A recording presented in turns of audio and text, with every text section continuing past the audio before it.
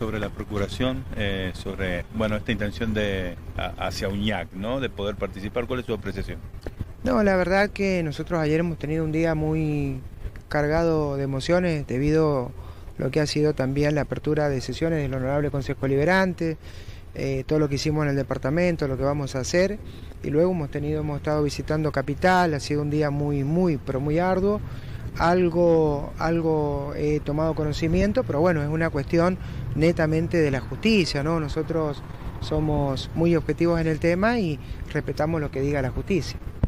Al formar parte de la, agrupación, eh, interesa, entienden que Uñac al frente de una de las listas de las subagrupaciones influye en, lo que puede ser las elecciones, estando o no estando?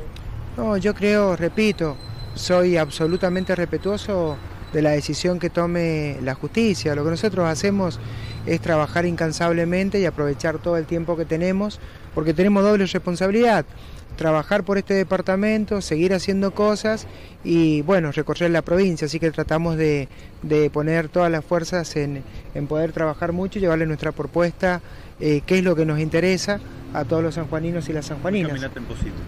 Sí, estamos en Posito, eh, en Rawson y hay otro departamento más, pero puntualmente voy a Rawson y luego voy al departamento de Posito también. ¿Cómo le van las caminatas? Bien, está ahí la palabra de eh, el intendente eh, Fabián Gramajo, eh, también haciendo un repaso por, obviamente,